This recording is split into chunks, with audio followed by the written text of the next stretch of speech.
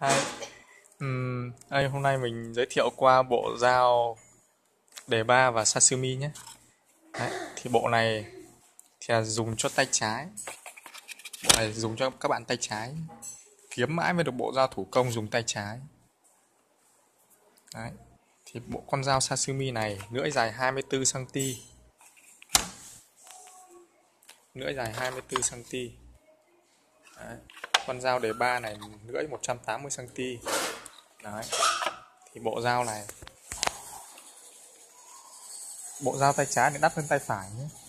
Đấy, các bạn có thể nhìn thấy độ dày thì như nhau độ dày 8 phân nhé con dao này dày khoảng 8 cm Đấy, tính từ đây này độ dày 8 cm à nhầm độ dày 8 phân gần 1 cm 0,8 cm 8 mini còn con đề con con con dao sashimi này thì độ dày 0,4 mini 0,4 cm 4 mini thì mình cũng có đo rồi.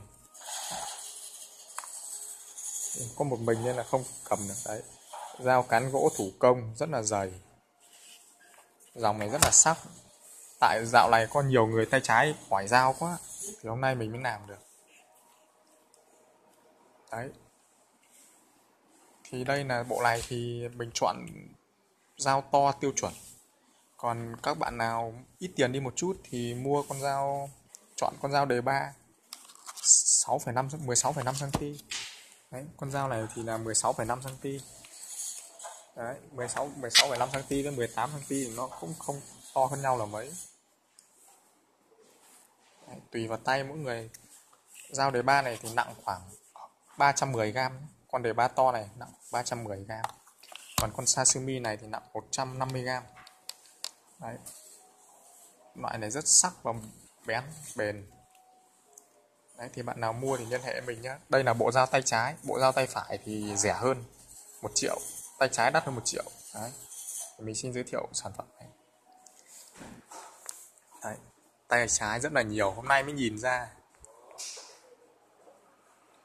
đây thì là 150 cm này. Sashimi 18 18 cm này. Sashimi lưỡi 21 cm này. Đấy. sashimi lưỡi 24 cm dành cho tay trái. Mình xin kết thúc video đây nhé bạn nào mua thì liên hệ em mình. Bộ hai con mua nẻ không có nhá.